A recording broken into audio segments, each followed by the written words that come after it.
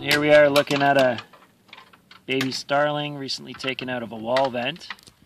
What I want to do now is very gently look over this bird for mites. One of the first places you're going to want to look for mites is underneath the wing.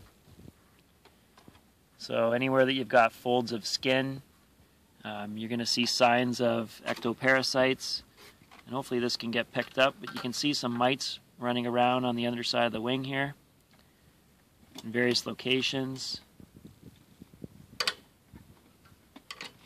And birds are used to dealing with ectoparasites like this. The juveniles kind of tough it out. It's an annoyance. It can cause secondary infection. And uh, as an adult, the way they cope with that is by giving themselves dust baths.